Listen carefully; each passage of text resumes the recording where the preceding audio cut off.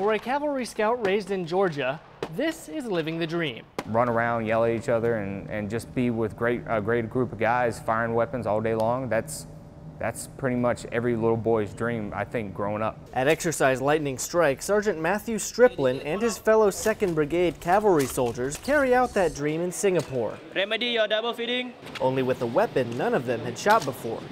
Let me put it back on six. The Singapore Assault Rifle 21st Century, or SAR-21.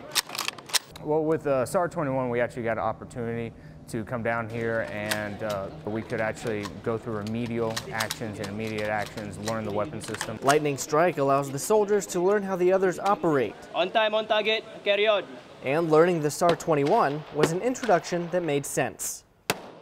A lot of us have never seen one before.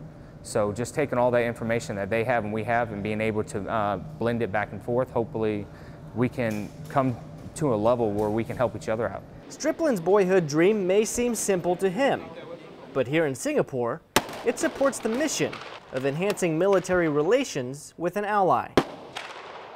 Being able to actually accomplish that in a foreign country uh, and actually learn all these individuals' names and who they are and actually spend time with them and, and build bonds, so that just makes everything a lot better. Staff Sergeant Mike Lahrman, Exercise Lightning Strike, Singapore.